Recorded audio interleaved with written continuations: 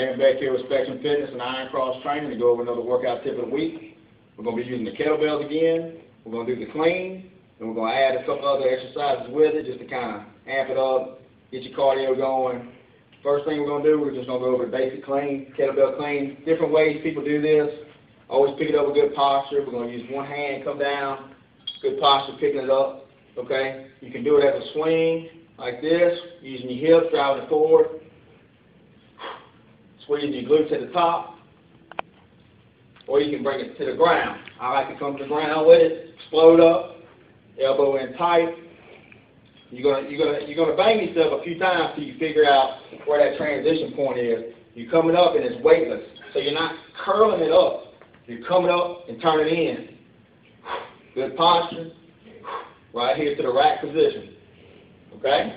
So what we're gonna do now, we're gonna do the clean and then we're gonna add some other exercises to it. Get your heart rate going. Each exercise you can do 30 seconds, a minute, rotate it to the other arm, and just keep it going, okay? So what we're going to do right now, we're going to do the clean, then we're going to do the squat kick, then we're going to do the high pull, single hand. All right, so going to look like this.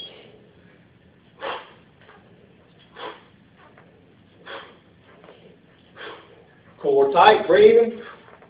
And from here, hold it here, come down,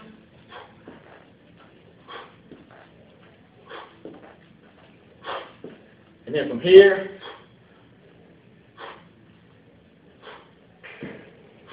you can do each one for 30 seconds. Swap hands, of course, and repeat. To your squat kick. To your high pull. Good exercise. Just to clean yourself is an excellent exercise. Give it a shot. See what you think.